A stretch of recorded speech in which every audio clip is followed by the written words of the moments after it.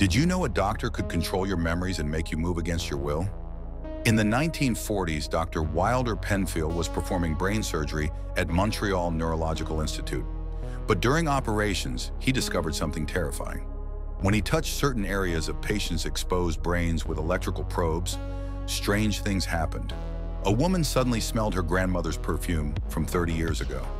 A man relived his eighth birthday party in perfect detail. Another patient's arm moved completely against their will. The most disturbing part? He could make people speak words they never intended to say. Patients would experience emotions that weren't their own, triggered by tiny electrical pulses. With precise stimulation, Penfield could access and control any human memory or behavior. His experiments proved that free will might be nothing more than electrical impulses in our brains. Today, his detailed brain maps are still used by surgeons worldwide. The terrifying truth? Human consciousness can be controlled with the flip of a switch.